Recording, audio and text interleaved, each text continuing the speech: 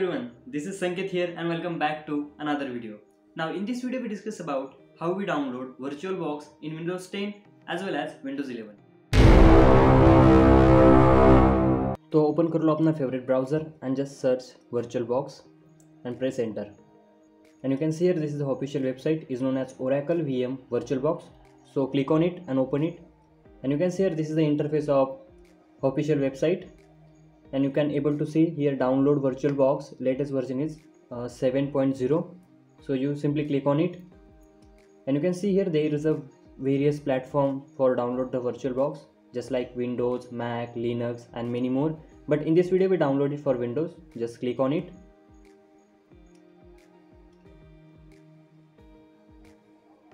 And you can see here the downloading has start. And it it takes some time according your net speed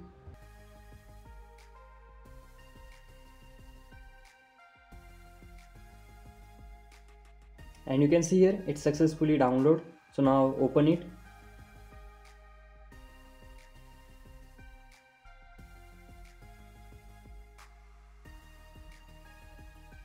And you can see here this is the VirtualBox setup. So welcome to the Oracle VM you simply click on next button. And you can see here this is the location where your VirtualBox are saved. So set as default. Simply click on next set as default you simply click on S for the installation. And you can see here this is ready to install. You simply click on install button and your VirtualBox are starting to installing.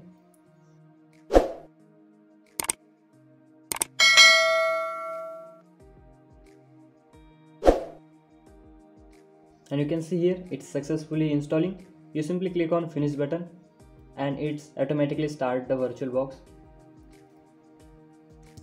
and you can see here this is the Oracle VM VirtualBox manager.